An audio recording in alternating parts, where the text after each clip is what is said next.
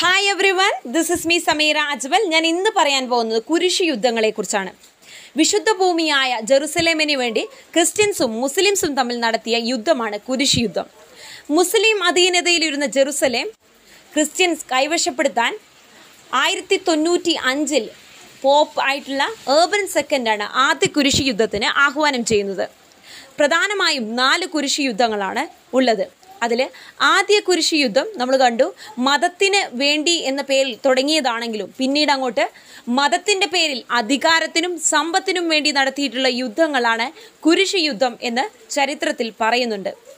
നമുക്ക് കൂടുതൽ വിശദീകരിക്കുന്നതിന് മുമ്പ് ഇതുവരെ വീഡിയോ സബ്സ്ക്രൈബ് ചെയ്യാത്തവരാണെങ്കിൽ സബ്സ്ക്രൈബ് ചെയ്യുക ലൈക്ക് കമന്റ് ഒക്കെ ചെയ്യുക.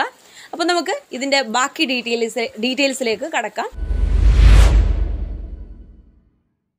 ഹോളി വാസ് വിശുദ്ധ യുദ്ധങ്ങൾ എന്നറിയപ്പെടുന്ന കുരിശ് യുദ്ധം ആരംഭിക്കുന്നത് ആയിരത്തി തൊണ്ണൂറ്റി അഞ്ചിലാണ് ക്രോസ് എഗെയിൻസ്റ്റ് ക്രിസൻ കുരിശും അർദ്ധചന്ദ്രനും അതായത് ക്രിസ്ത്യൻസും മുസ്ലിംസും തമ്മിൽ നടന്ന യുദ്ധമാണ് കുരിശ് യുദ്ധം കുരിശ് യുദ്ധത്തിന്റെ പ്രധാന കാരണം എന്ന് പറയുന്നത് ജെറുസലേം പാലസ്തീൻ പോലെയുള്ള വിശുദ്ധ സ്ഥലം കൈവശപ്പെടുത്തുക അല്ലെങ്കിൽ തിരിച്ചു പിടിക്കുക മുസ്ലിംസിന്റെ കയ്യിലായിരുന്നു ഈ ജെറുസലേം എന്ന പ്രദേശം. അത് തിരിച്ചു പിടിക്കാൻ വേണ്ടിയിട്ട് ക്രിസ്ത്യൻസ് സ്റ്റാർട്ട് ചെയ്ത യുദ്ധമാണ് കുരിശ് യുദ്ധം.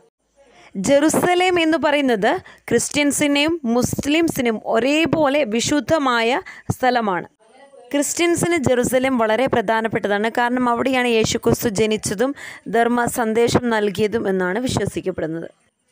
ജെറുസലേം മുസ്ലിം ഖലീഫേറ്റിന്റെ കൈവശം ഉണ്ടായിരുന്ന സമയത്ത് ഏകദേശം അപ് ടു ആയിരത്തി എഴുപത്തിയാറ് എ ഡി വരെ ക്രിസ്ത്യൻസിന് ഒരു തരത്തിലുള്ള പ്രശ്നങ്ങളും അവിടെ നേരിടേണ്ടി വന്നിട്ടില്ല. അവർക്ക് അവരുടെ വിശുദ്ധ സ്ഥലം സന്ദർശിക്കാനും ആചാരങ്ങളും അവരുടെ വിശ്വാസങ്ങൾ സംരക്ഷിക്കപ്പെട്ടിരുന്നു.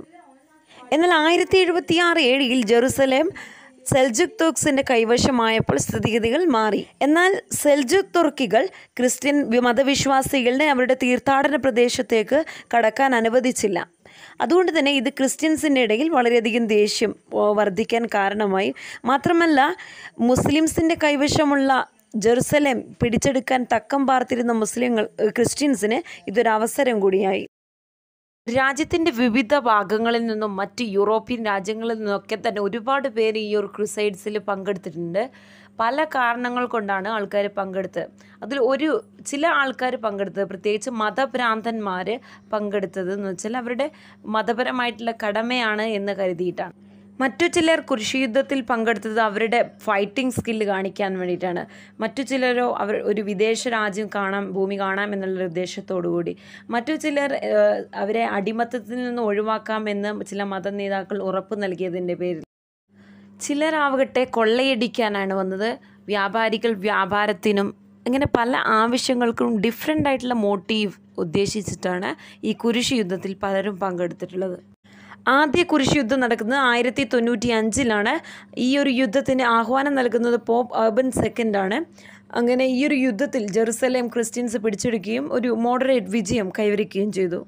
രണ്ടാം കുരിശ് യുദ്ധം നടക്കുന്നത് ആയിരത്തി ഒരുന്നൂറ്റി നാൽപ്പത്തി ഏഴിലാണ് കാരണം തുർക്കികൾ ഫോർട്ട് എഡീസ കൈയടക്കിയത് ക്രിസ്ത്യൻസിന്റെ ഇടയിൽ അതൊരു അസഹിഷ്ണുത ഉണ്ടാക്കുകയും ക്രിസ്ത്യൻസ് രണ്ടാം കുരിശ് യുദ്ധത്തിന് ആഹ്വാനം ചെയ്തു.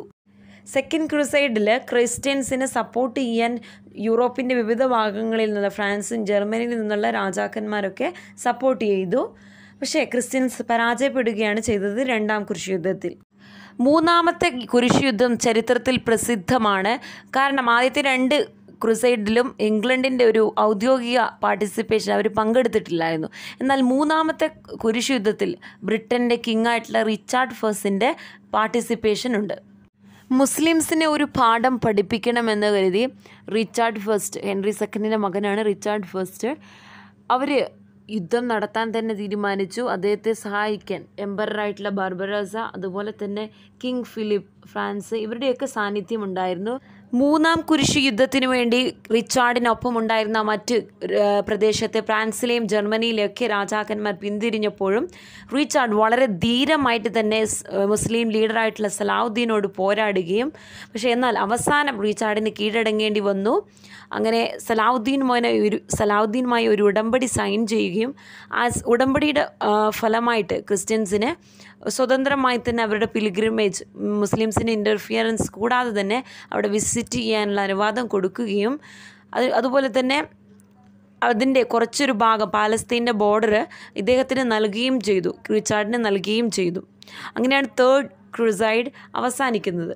കിങ് ആയിട്ടുള്ള റിച്ചാർഡിനൊരു പേര് ലൈൻ ഹാർട്ടഡ് നാലാം കുരിശ് യുദ്ധം എന്ന് പറയുമ്പോഴും അതിന് യഥാർത്ഥ സെൻസിൽ അതൊരു കുരിശ് യുദ്ധം എന്ന് വിശേഷിപ്പിക്കാൻ പറ്റില്ല. കാരണം ഇതൊരു മതത്തിനേക്കാൾ ഉപരി മതത്തിന്റെ പേരിൽ ഒരു കൊമേഴ്ഷ്യൽ സുപ്രീമസിക്ക് വേണ്ടി വാണിജ്യപരമായ അധികാരത്തിന് വേണ്ടിയിട്ട് വെനീസും കോൺസ്റ്റാന്റിനാപ്പോൾ തമ്മിൽ നടന്ന ഒരു യുദ്ധമാണ്.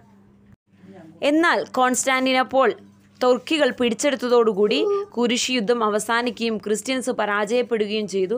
അങ്ങനെ ജെറുസലം തുർക്കികളുടെ നിയന്ത്രണത്തിൽ തുടരുകയും ചെയ്തു. ഒന്നാം കുരിശി യുദ്ധത്തിൽ മാത്രമാണ് ക്രിസ്ത്യൻസ് വിജയിച്ചത്. ബാക്കി മൂന്ന് കുരിശി യുദ്ധങ്ങളിലും ക്രിസ്ത്യൻസ് പരാജയപ്പെടുകയാണ് ഉണ്ടായത്. പിന്നീട് അങ്ങോട്ട് ജെറുസലേം മുസ്ലിംസിന്റെ കൈവശം തന്നെയായിരുന്നു. ക്രിസ്ത്യൻസിന്റെ പരാജയത്തിന് പ്രധാന കാരണം അവർക്കൊരു കൃത്യമായ ലീഡർഷിപ്പ് യൂറോപ്പിൽ ഉണ്ടായിരുന്നില്ല എന്നതുകൊണ്ടാണ് എന്നാണ് ചരിത്രം പറയുന്നത്. കുരിശ് യുദ്ധത്തിന്റെ അനന്തരഫലങ്ങളിൽ ഒന്നാമത്തേത് പുതിയൊരു ടാക്സ് സംവിധാനം അവിടെ ഇൻട്രൊഡ്യൂസ് ചെയ്തു. കാരണം യുദ്ധത്തിന്റെ ഫലമായി ഒരുപാട് സാമ്പത്തിക നഷ്ടങ്ങൾ വന്നപ്പോൾ ക്യാഷ് പിരിക്കാൻ വേണ്ടിയിട്ടാണ് ടാക്സ് കൊണ്ടുവന്നത്. രണ്ടാമത്തെ ഫ്യൂഡൽ ബാലൻസിന്റെ തകർച്ചയാണ്. അവർ സാമ്പത്തികപരമായിട്ടും രാഷ്ട്രീയപരമായിട്ടും തകർന്നു. കാരണം അവർ ഹോംലാൻഡിൽ നിന്ന് പോയി തിരിച്ചു വരുന്നവർ രക്ഷപ്പെട്ടു വന്നവർക്ക് ഒരുപാട് കടങ്ങൾ പേ ചെയ്യേണ്ടി വന്നു. മറ്റുള്ള ഫ്യൂഡൽ ബാരൻസ് പറയുന്നത് യുദ്ധ ഫീൽഡിൽ കൊല്ലപ്പെടുകയും ബാറ്റിൽ ഫീൽഡിൽ കൊല്ലപ്പെടുകയും ചെയ്തു. മറ്റൊന്നെന്ന് പറഞ്ഞാൽ ഫ്യൂഡൽ ബാലൻസിന്റെ തകർച്ച സെർവ്സ് താഴെയിൽ അടിമ വിഭാഗം സ്വതന്ത്രമാകാൻ കാരണമായി. ഫ്യൂഡൽ ബാലൻസ് പോയതിന്റെ ഫലമായി അവിടെ ഫ്യൂഡലിസം തകർന്നു. മറ്റൊന്ന് അതുകൊണ്ട് തന്നെ ഈ ബാരൻസിന്റെ ആധിപത്യം ഇല്ലാതായപ്പോൾ തന്നെ പുതിയൊരു വ്യാപാര ഒരു പ്രത്യേക വർഗം അവിടെ ഉയർന്നു വന്നു വളർന്നു വന്നു.